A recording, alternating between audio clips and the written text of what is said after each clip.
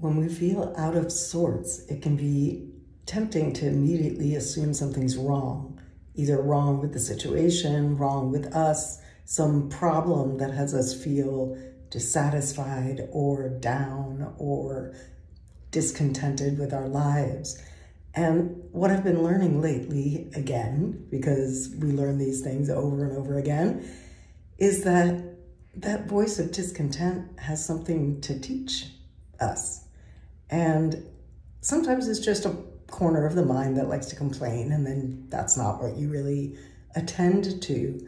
But sometimes, as I'm noticing, it's a sign of a deeper change that needs to happen, a deeper shift that's on the horizon that you're being called to experience and feel. And so experience it, feel it, let it unfold.